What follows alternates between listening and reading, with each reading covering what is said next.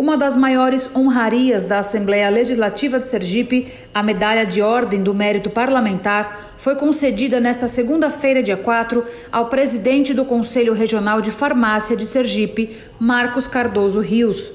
De autoria do deputado estadual Jorge Passos, do Cidadania, a homenagem se estende a todos os profissionais de farmácia do estado. O reconhecimento para uma categoria que sempre fez muito o Sergipe, é uma das maiores distinções dessa casa, a medalha da Ordem do Mérito Parlamentar. Conselho Regional de Farmácia, ao longo da sua existência, completando 59 anos, fez muito para o Sergipe. E agora, em especial, durante essa pandemia, onde nós vimos diversos farmacêuticos ali no dia a dia salvando vidas. Então, nada mais do que justo que a Assembleia reconhecer o Conselho como instituição e parabenizar dessa forma todos os farmacêuticos sergipanos. Para o representante da categoria, a medalha é uma forma de reconhecimento por todo o trabalho desempenhado pelos farmacêuticos no período da pandemia da Covid-19. Essa homenagem ela é para o Conselho, assim como é para todos os farmacêuticos.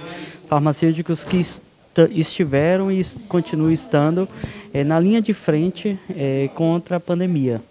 É, então, essa homenagem ela vem reconhecer o trabalho do Conselho Regional de Farmácia, que esteve lado a lado, dentro, apoiando os farmacêuticos a promover a saúde da população nesse momento tão tão triste que foi a pandemia. A deputada estadual Gracinha Garcês, do PSD, esteve presente no evento e também destacou o trabalho dos farmacêuticos. Eu quero parabenizar, grande homenagem, parabenizar o deputado George, o nosso presidente Luciano, que hoje estava aqui os farmacêuticos para dar essa grande homenagem merecedora. A integrante do Conselho Regional de Farmácia em Sergipe, Maria de Fátima Cardoso Aragão, falou sobre a contribuição dos farmacêuticos na descoberta da vacina contra a Covid-19. Nós, graças a Deus, estamos com, passando por essa pandemia, é, saindo da, dessa crise que, humanitária de saúde,